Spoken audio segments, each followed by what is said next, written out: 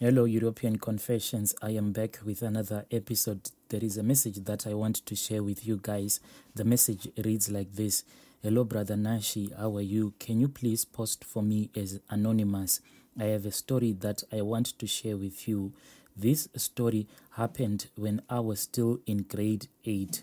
I had a brother. This brother of ours was living in the city at that time, but we didn't know what kind of a job he was doing all that we knew back in the village was that our brother was so rich. But even though he was rich, but he never did anything like like to build our parents a new house or anything. We only heard people saying that your brother is so rich in the city. So what he would do is that whenever he would visit us back in the village, he would buy us a lot of groceries and stuff, clothes and everything. But what bothered me was that if he bought clothes for my mother, my mother will then burn all of the clothes after our brother had returned to the city. Growing up, I thought that my mother was so cruel and evil because most of these clothes that my brother will buy for our mother were expensive designer clothes. We never understood why our mother will end up burning all of those brand new designer clothes after our brother had returned back to the city. When we asked our mother why she was burning all of these brand new designer clothes, at least she would have sold all of those clothes so that we can buy food and renovate the houses that were so dilapidated. One day after we had asked our mother, she sat us down. Then she told us this story. She said on one particular day, she followed our brother after he had returned from the city and she found our brother sitting near the graves. He was sitting on top of a grave. When my mother asked our brother what he was doing at the graveyard, that is when our brother ran away. Since then, our mother did not get along with our brother. So we understood why our mother kept on burning all of those designer clothes that our brother would buy for our mother when our brother would pay us a visit back in the village, but sometimes he would just return to the city without ever greeting our mother or speaking with our mother. They would just pass each other in the compound as if they were total strangers. So one day, my brother then returned back home and he said to me, I want you to find me a girl to marry. I think now it is the time for me to get married. He gave me one condition. The condition was that the lady that he wanted to marry should be an albino, nothing else, only an albino. So when my brother traveled back to the city, he gave me a lot of money. I mean, like for the first time in my life, I had so much money. So, my former school where I used to go and study at, it was about 10 kilometers from our home. Next to our school, there was this other village, and I knew that in that village there was this other woman, and she was an albino. So I went to that woman, then I approached her as if I wanted to be friends with her.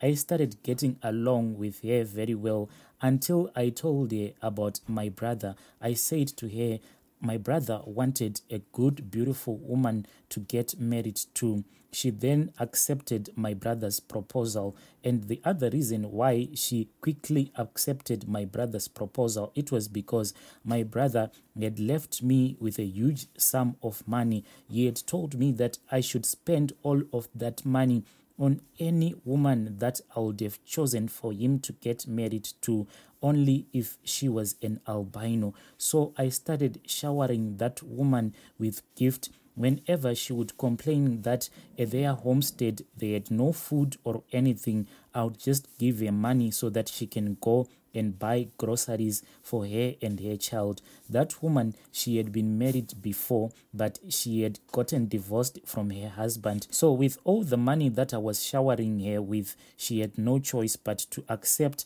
my brother's proposal, thinking that if she get married to my brother, everything was going to be well with her. After some time, my brother then came back to the village. Then they met each other. They started to date. My brother then returned back to the city. After that, he never came back to the village. That woman then got sick and she eventually died. This was after one year. So, after my brother had returned back to the city, that woman eloped and that woman came to our house. She told our mother that she had fallen pregnant for our brother. Then our mother then took her in as her new daughter-in-law, thinking that our brother was going to quickly return if he had the news that there was another woman who was claiming that he had impregnated her. But to our surprise, whenever we would call our brother, he would just say, Next week I am going to be coming. Tomorrow I am going to be coming. But our brother never returned back to the village. Before that woman had died, she called me into the room where she was sleeping. Then she said, Sit down. There is something that I want to tell you. So she told me everything that had happened between her and my brother. She said, On this other day, my brother went to her house. Then my brother asked her,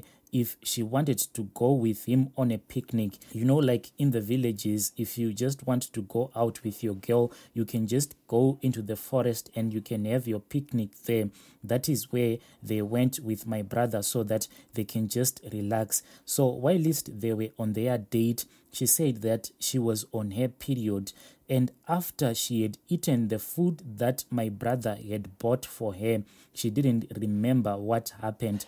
But she said when she woke up, that is when she realized that my brother had had sexual intercourse with her despite her being on her periods. After that, they went back home. That is when she realized that she was no longer wearing the underwear that she had been wearing when she went on a date with my brother. She was wearing a brand new underwear. After she saw that she was wearing a brand new underwear, which she didn't know where she had gotten it from, she confronted my brother, but my brother refused. Then my brother just left in the middle of the night. Then he returned back to the city. After that, that is when this woman fell sick. And as I explained earlier, she died after one year, but my brother didn't even visit her even when she heard that this woman had died and she died in our home. We told him that he had to come back when his wife died, but he just kept on postponing, saying that he was going to come, but he never came. He only came after some time when we had forgotten about everything that had happened. That is when our brother returned back from the city and he then asked us to show him where we had buried his wife. We went there, but to our surprise, our brother cried so much throughout the night, but he knew everything that had happened to his wife. Even the very first day when our brother's new wife came, as he was telling us that it was our brother who had given her the pregnancy that she was carrying, our mother called our brother, but he just postponed. But on that night, when we went with him to that grave site where that albino woman was buried, that is when our brother started screaming and crying throughout the night as if this was new news to him. After that night, he went on to marry another woman and he went back to the city. Now, when we are counting the years, it has been 12 years ever since he left and he has never returned back again.